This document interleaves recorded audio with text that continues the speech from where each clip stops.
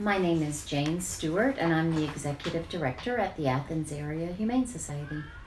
Fundraising is a big part of my job for sure. Um, somebody told me one time you can think of yourself as a fundraising entity that happens to help the animals, and there that's a very true statement because without money and financing, we can't do the things that we do. One area that we grew tremendously was our adoptions. We were predominantly cats only um, I started bringing dogs in.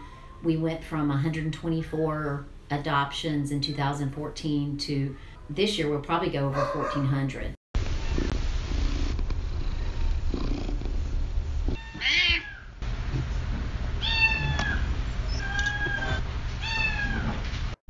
When I heard there were 200,000 healthy adoptable animals losing their life every year in, in Georgia, I I did some research because I thought surely that's not what they just told me, right? That couldn't be right, and um, and it was, and so that's really what got me involved.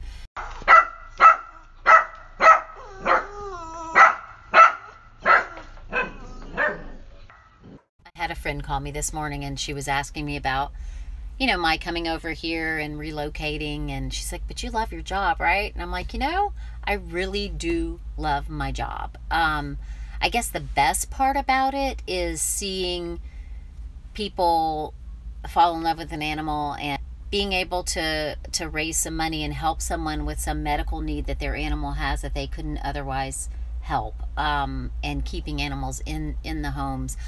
You're keeping them with this person that absolutely adores them and maybe that's pretty much the only thing that person has in life is this animal that they love. That's probably my favorite part of my job